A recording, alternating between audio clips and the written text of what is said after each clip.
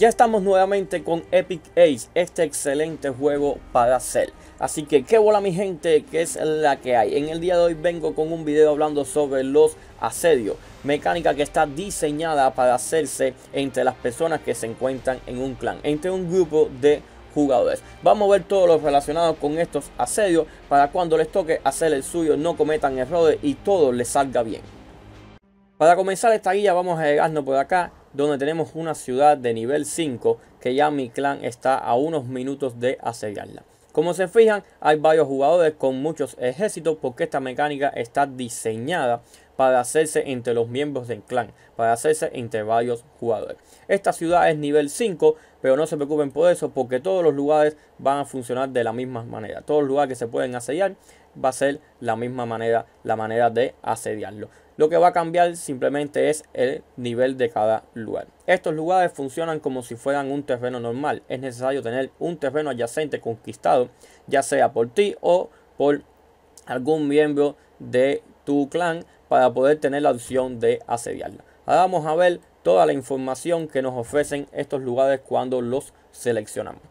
Por una parte tenemos que por la primera ocupación, es decir, el primer clan que ocupe ese lugar les va a dar una recompensa a todos los miembros del clan en materiales. Luego tenemos una recompensa en oro para los que participan, solamente para los que participan en el asedio.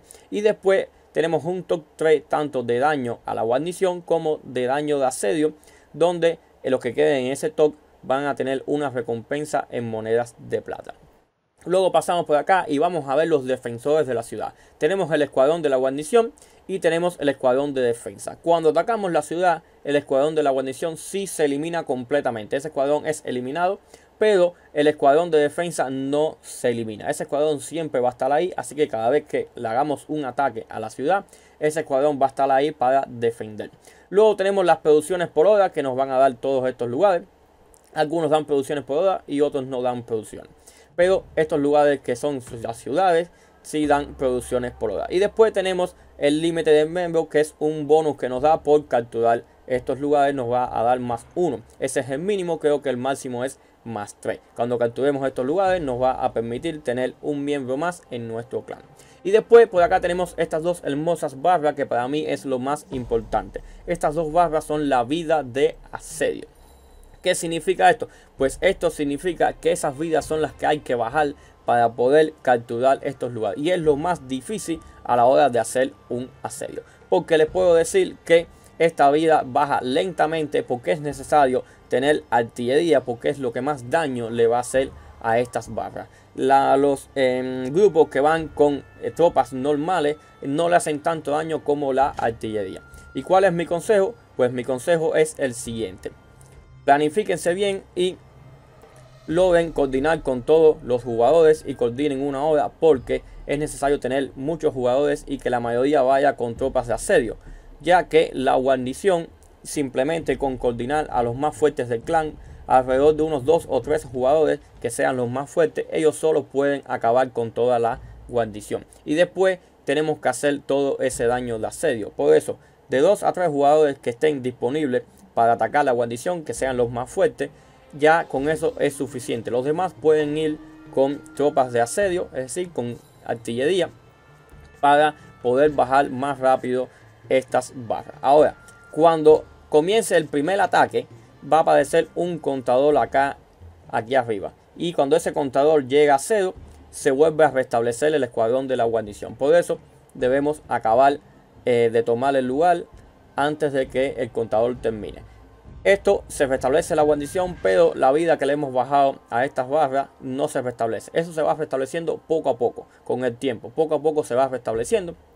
Esa no se restablece de, así, de banca, nos acaba el, tiempo. Es lo único que se restablece es la guarnición. Ahora, después tenemos acá eh, que en ciertos intervalos se van a debilitar estos lugares.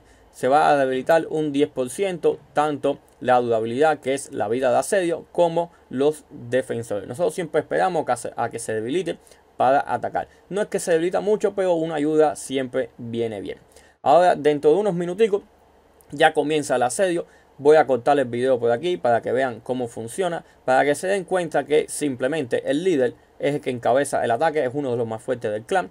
va a encabezar el ataque y posiblemente él solo, un solo jugador, sea el que elimine la guarnición y después todos vayan a hacer el daño de hacer. Ahora, si en caso de que otras estructuras de mayor nivel, mm, porque esto va en dependencia del nivel de cada jugador, de que el nivel que tenga su agrupación, si un solo jugador no puede eliminarla, porque en este caso nosotros sí podemos, pero por eso les decía tener de 2 a 3 jugadores de reserva para que cuando el primero ataque, si no elimina la guarnición, vaya el segundo y ya aseguren que solamente 2 a 3 jugadores sean los que eliminen los, eh, los escuadrones de la guarnición. Y todos los demás se dediquen a hacer el daño de asedio, que es lo más difícil, bajar estas dos barras de vía.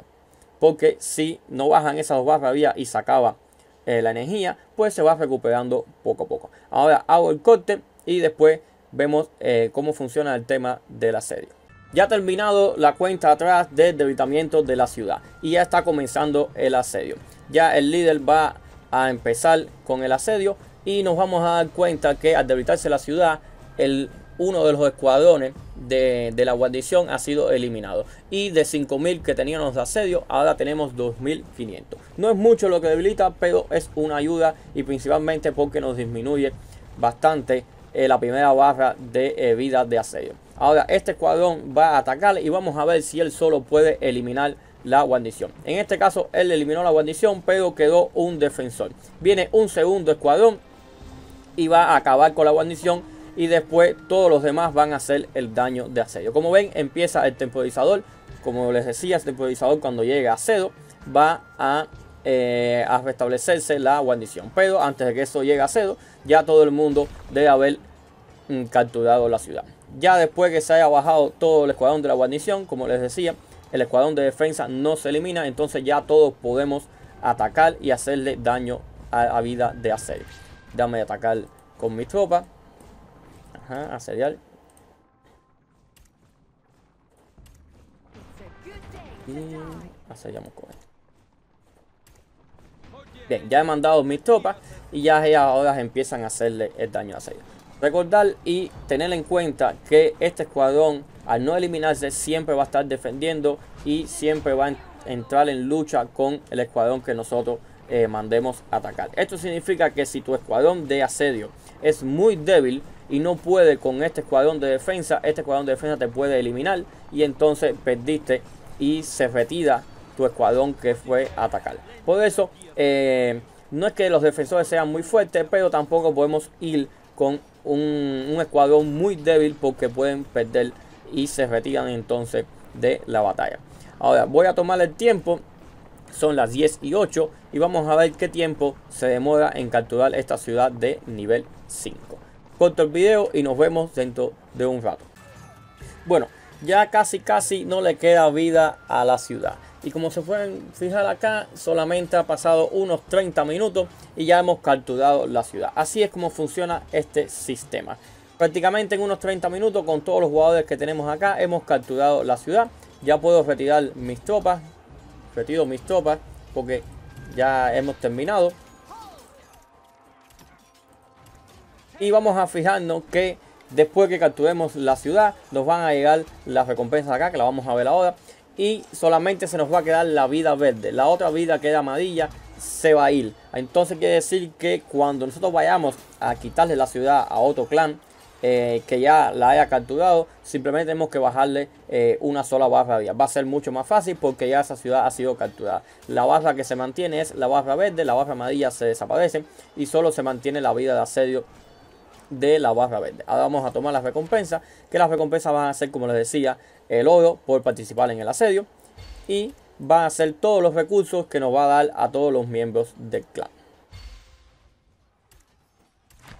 Debo decir algo aquí que eh, cuando vayan a hacer el asedio tienen que tener cuidado con la moral que tenga el escuadrón. Porque a menor moral menos daño van a hacer tienen que planificarse bien y si eh, quieren no construir una tienda de campaña, como muchos jugadores construyen una tienda de campaña y cuando mandan a su escuadrón para la tienda eh, se restaura instantáneamente la modal y tienen 100% modal, lo cual eh, no afecta el daño que hacen porque a menor modal afecta menos daño. Vamos a fijarnos acá en mi escuadrón porque yo no hice tienda de campaña y mi escuadrón tiene 100 de modal y eh, no me reduce el daño. Pero mi otro escuadrón que lo mandé más tarde tiene 42 de moral y me reduce un 40% el daño que yo hago. ¿Qué significa esto? Que si no van a hacer tienda de campaña, muevan sus tropas con tiempo para que cuando lleguen al lugar tengan tiempo de eh, recuperar esa moral y puedan hacer eh, el daño del 100% de daño. Porque si no van a hacer menos daño tanto de asedio como daño normal de las tropas. Ese es mi último consejo. Eh, por acá le estoy dejando ya terminada la guía de asedio. Esto va enfocado principalmente para que cuando vayan a hacer su primer asedio no cometan errores, no fallen y vayan a lo seguro. Nos vemos en próxima regla y que todo esto le haya servido de algo. Chao.